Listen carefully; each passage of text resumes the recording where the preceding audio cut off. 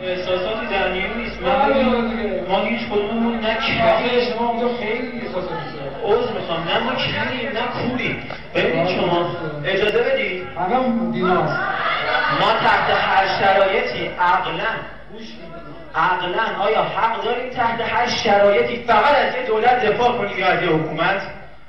من از شما سوال دارم. آیا الان شما برنجی که دو هزار تومن بوده دو سال پیش پنج هزار تومن چهار هزار تومن مگه تو این جامعه زندگی نمی کنی مردم این جامعه مگه بنز می‌خرن که بنز شده از 200 تومن 210 میلیون تومن 5 درصد تورمش رو حساب بکنیم اصلا به من چه خاتمی چه کار کرده؟ هاشمی چه کار کرده؟ ما زمانی که هاشمی و خاتمی بودن بهشون فوش می‌دادیم می‌گفتیم آقا جان اینا نمی‌دونم فلان 20 سال احمدی نژاد اومده پدر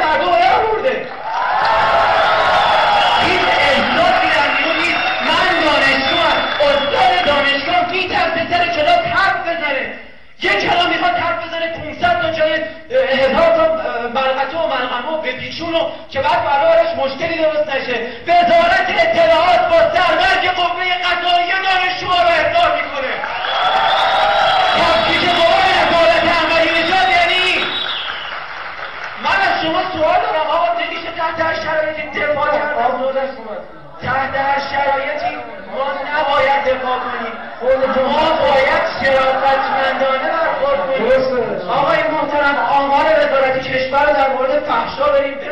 بخونیم این که یه زن تنش رو به خاطر فرد میفروشه نباید باعث بشه ما سرمون رو بکوبیم به دیوار. همه مسائل که سیاسی متاسفانه فقط یاد یک مورد یک مورد انتقاد. وقتی که وقتی که روزنامه کیهان و رسالت میشن روزنامه های معتقد دولت باید خندید زیر دلم می‌گیرم میخ